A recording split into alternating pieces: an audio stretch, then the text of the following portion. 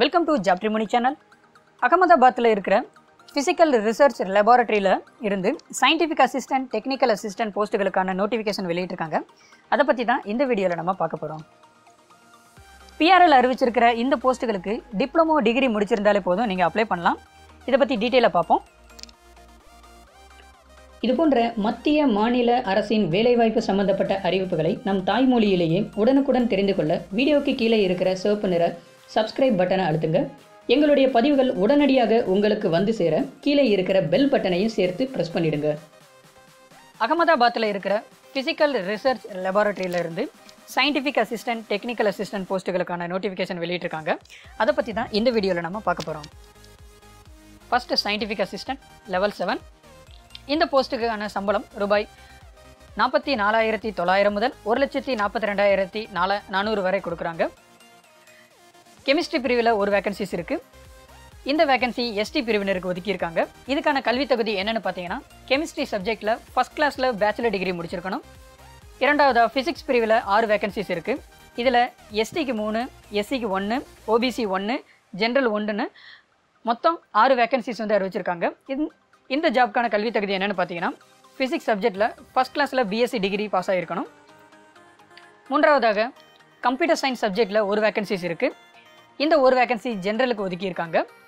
இந்த ஜாப்க்கான கல்வி தகுதி என்னென்னு பார்த்தீங்கன்னா கம்ப்யூட்டர் சயின்ஸ் இன்ஃபர்மேஷன் டெக்னாலஜி சப்ஜெக்டில் பிஎஸ்சி முடிச்சிருக்கணும். ஃபஸ்ட் கிளாஸில் பாஸ் ஆகிருக்கணும் அடுத்ததாக டெக்னிக்கல் அசிஸ்டன்ட் போஸ்ட்டை பற்றி பார்ப்போம். இந்த ஜாப்க்கு ரூபாய் நாற்பத்தி நாலாயிரத்தி தொள்ளாயிரம் முதல் ஒரு லட்சத்தி நாற்பத்தி ரெண்டாயிரத்தி நானூறு வரை சம்பளமாக கொடுக்குறாங்க. முதலாவதாக சிவில் மொத்த வேக்கன்சி மூணு. எஸ்டிக்கு ஒன்று ஓபிசிக்கு ஒன்று ஜென்ரலுக்கு ஒன்று ஒதுக்கியிருக்காங்க.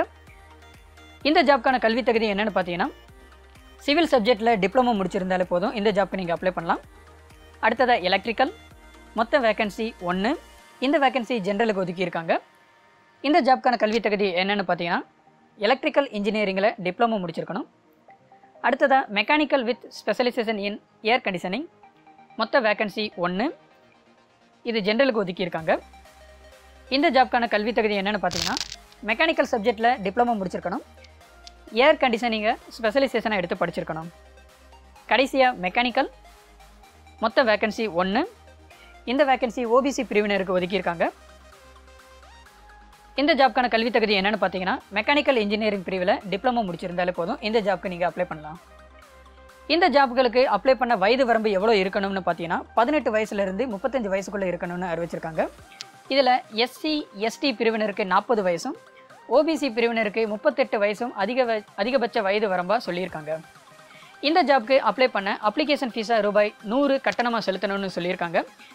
இதை நீங்கள் ஆன்லைன் மூலமாகவோ இல்லை சலான் மூலமாக ஆஃப்லைன் பேமெண்ட்டாகவோ கூட நீங்கள் செலுத்தலாம். பெண்கள் எஸ்சி எஸ்டி எக்ஸ் சர்வீஸ்மேன் பிரிவினர்களுக்கு மற்றும் மாற்றுத்திறனாளிகளுக்கு இந்த கட்டணம் கிடையாது. இந்த ஜாப்க்கு அப்ளை பண்ண விரும்புகிறவங்க W W W dot PRL dot RES dot இன்கிற வெப்சைட்டில் போய் ஆன்லைன்லேயே நீங்கள் அப்ளை பண்ணலாம். அப்ளை பண்ண உடனே உங்களுக்கான ரெஜிஸ்ட்ரேஷன் நம்பர் ஜென்ரேட் ஆகிடும் அந்த நம்பரை நோட் பண்ணி வச்சுக்கோங்க. ஏன்னா இது உங்களுக்கு பின்னாடி ரெஃபரன்ஸாக வந்து யூஸ் ஆகும்.